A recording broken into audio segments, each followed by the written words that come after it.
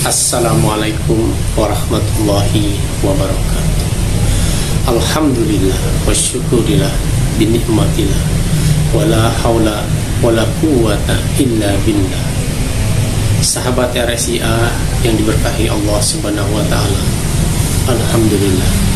Hari ini kita dapat berjumpa dalam serial lanjutan acara SDT spesial untuk Ramadan.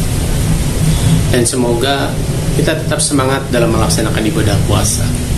Mudah-mudahan puasa yang sedang kita jalankan mendapatkan ridho dari Allah Subhanahu wa taala.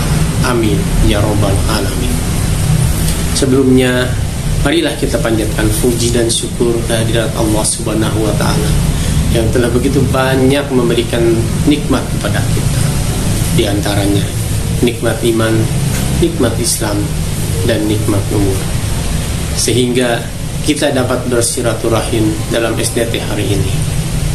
Tidak lupa kita panjatkan salawat serta salam kepada manusia terbaik Nabi akhir zaman Rasulullah Shallallahu Alaihi Wasallam kepada keluarganya, kepada sahabatnya, kepada tabiin tabiinnya sampai kita selaku umatnya yang insya Allah akan terus mengikuti ajarannya sampai akhir zaman. Sahabat RSIA yang dirahmati Allah Subhanahu wa taala.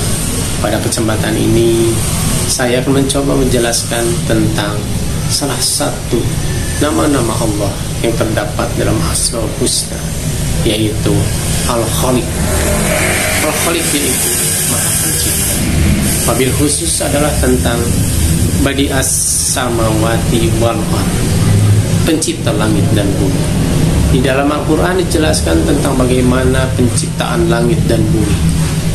Dan ada beberapa ayat Al-Quran di antaranya yaitu dalam surat Al-A'raf ayat 54 yang artinya Sesungguhnya Tuhan kamu ialah Tuhan yang telah menciptakan langit dan bumi dalam enam masa. Lalu bersama yang di atas arasnya. Dia menutupkan malam kepada siang Yang mengikutinya dengan cepat dia ciptakan matahari, bulan, bintang-bintang tunduk kepada perintahnya.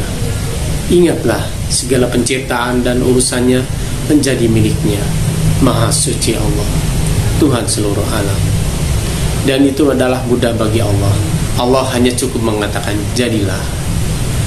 Allah berfirman dalam surat Al-Baqarah ayat 117 Bismillahirrahmanirrahim badius samawati wal ar wa idza qada amran fa inna ma yaqulu lahu kun fayakun yang artinya Allah pencipta langit dan bumi. Apabila dia hendak menetapkan sesuatu dia hanya berkata kepadanya jadilah. Maka jadilah sesuatu itu.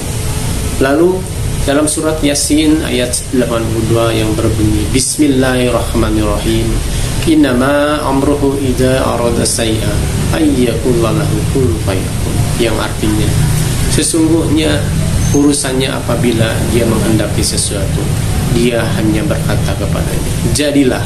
Maka jadilah sesuatu. Lalu bagaimana bagaimana Allah menciptakan suatu keindahan yang luar biasa? Suatu keagungan zat yang menciptakannya langit dengan segala perhiasannya Allah ciptakan galaksi dengan berjuta bintang. Allah ciptakan planet dengan lintasannya masing-masing. Allah ciptakan matahari, bulan, dan bumi tempat kita berpijak. Berfikir dan bertadabur terhadap ciptaan Allah akan menambahkan keimanan kita kepada Allah. Oleh karenanya Allah menyeru manusia untuk senantiasa merenungi dan mensyukuri akan ciptaannya. Lalu Bagaimana Allah Subhanahu wa taala menciptakan langit dan bumi? Allah ciptakan langit dan bumi yang dimulai pada hari Ahad dan berakhir di hari Jumat. Maka dengan alasan inilah hari Jumat menjadi hari besar bagi umat muslim. Allah menciptakan bumi terlebih dahulu sebanyak tujuh lapisan sebelum langit dengan maksud sebagai bekal makhluk hidup yang ada di bumi.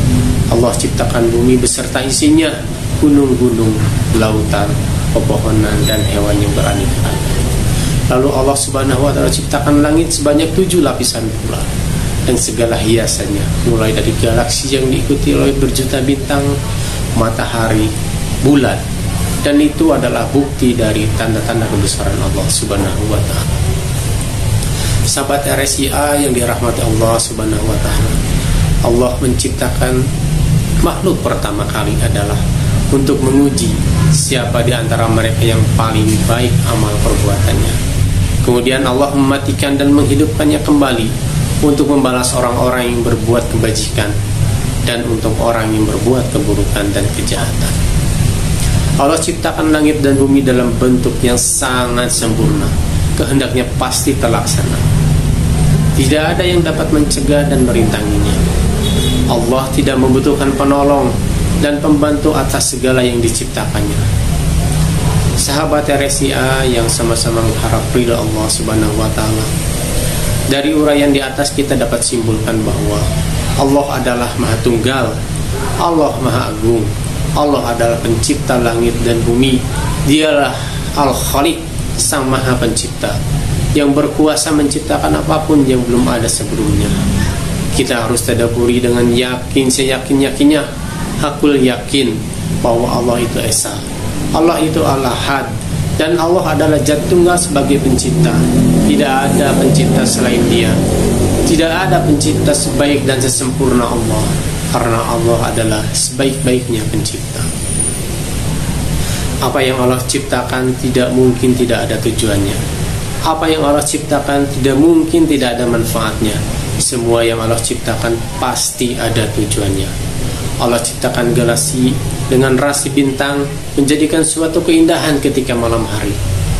Allah ciptakan matahari sebagai penerang di siang hari dan Allah ciptakan bulan sebagai lentera di malam hari. Semua itu adalah merupakan tanda-tanda kebesaran Allah. Lalu kita sebagai makhluk apakah kita bersyukur atau malah kita mengingkarinya? Janganlah kita merasa hebat ketika kita mampu menciptakan sesuatu. Janganlah kita merasa angkuh ketika mampu menciptakan sesuatu. Ingatlah, di atas langit masih ada langit di atas kita masih ada Allah. Allah ciptakan dan Allah lah yang menyediakan semuanya. Allah Al-Ahad, Allah Sang Khalik, Allah yang Maha Pencipta. Apa yang kita ciptakan tentu belum seberapa, bahkan tidak apa-apanya di hadapan Allah. Lantas, kita sebagai khilafah mempunyai tugas untuk menjaganya, melestarikannya, dan mensyukurinya bukan malah membinasakannya dan menghancurkannya. Sahabat RSIA yang dirahmati Allah Subhanahu wa taala. Demikian yang dapat saya sampaikan pada pertemuan ini. Mohon maaf bila ada kesalahan dalam penyampaian materi. Kesalahan murni dari saya dan yang benar mutlak milik Allah Subhanahu wa taala. Beli kelapa pakai mobil sedan. Jangan lupa Sampai jumpa tahun depan. Wabillahi taufiq wal hidayah. Wassalamualaikum warahmatullahi wabarakatuh. Selamat berbuka puasa.